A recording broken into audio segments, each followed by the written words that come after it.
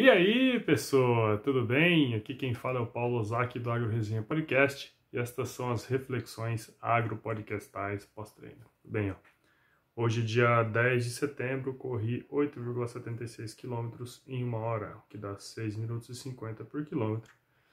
E foi um treino tranquilo, né? Treino mais intervalado, mais sossegado. As semanas últimas de treinos, normalmente elas já vão diminuindo o ritmo. É, e durante a corrida de hoje, cara, eu tava pensando aqui num negócio que, na verdade, me deixa bastante irritado, vamos dizer assim, né?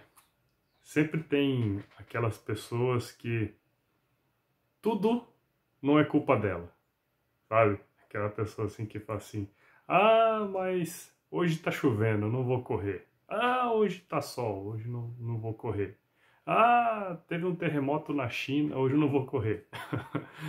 Ou, ah, eu esqueci o negócio. Mas, enfim, cara. Você, você tá escutando, você tá vendo esse vídeo e você já provavelmente conhece uma pessoa desse jeito. E toma cuidado se você não é essa pessoa, tá ligado? Porque, olha, é chato pra caramba. De qualquer modo, isso me fez lembrar do do complexo de Homer Simpsons, tá ligado? Aquele filme do Homer, do, da família Simpsons, que o Homer pega e fala assim: ah, a culpa é minha, eu ponho quem eu quiser, né? Cara do céu.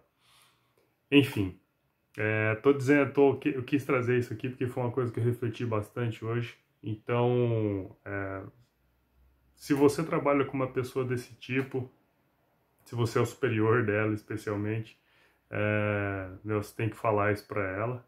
E se você é essa pessoa, cara, espero que não, acredito que não, na verdade, porque você escutou agroresistência e não é esse tipo de gente. cara, muda, velho, porque não é legal, tá certo? Então, vou ficando por aqui. Espero que você tenha curtido esse vídeo. Não deixe de, de seguir a gente aqui no canal, compartilhar, comentar.